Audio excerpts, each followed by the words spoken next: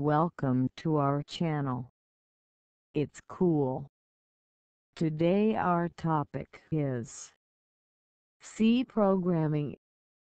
In this video you can watch how to add values in C programming.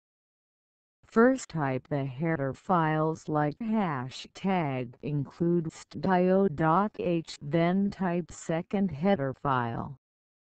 Hashtag include conio.h then type the main function. Void main.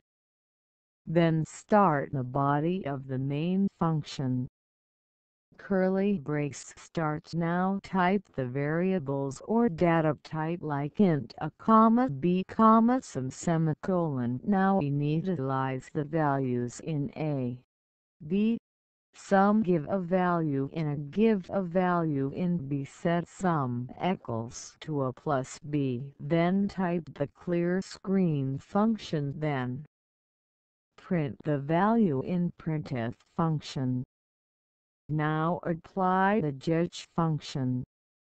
Now close the body of the main function. To execute the program, type Ctrl plus F9 you can see our program is successfully executed.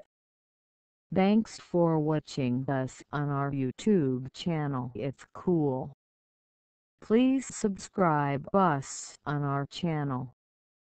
Please give your feedback in our comment channel in the video panel.